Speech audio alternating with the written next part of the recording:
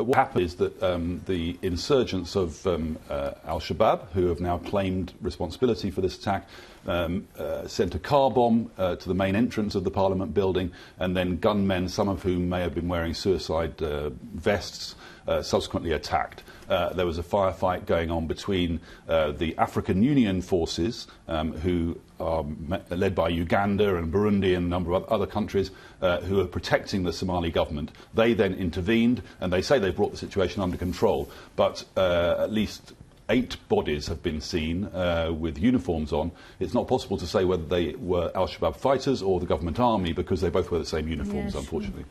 Um, as far as these attacks there, they are pretty common, so you would have thought that they would have been on high alert. Yeah, well, look, I've been to Somalia three times in the past uh, six uh, months or so. And every single day that I was there, I was with the African Union forces, every single day I was there, there was some sort of an incident. Not a big attack like this attack on Parliament, uh, but in February there was an attack on the presidential palace, for example.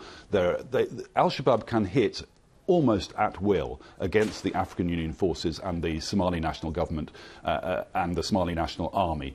Um, that doesn't mean that Al Shabaab are winning. Uh, the African Union have in the last few years, uh, moved forward into taking a number of garrison towns. They've taken the town of Kismayo in the south, they've taken Baidoa in the north, and they've pushed Al Shabaab out of the capital, Mogadishu. But this is asymmetric warfare. Al Shabaab can attack more or less at will.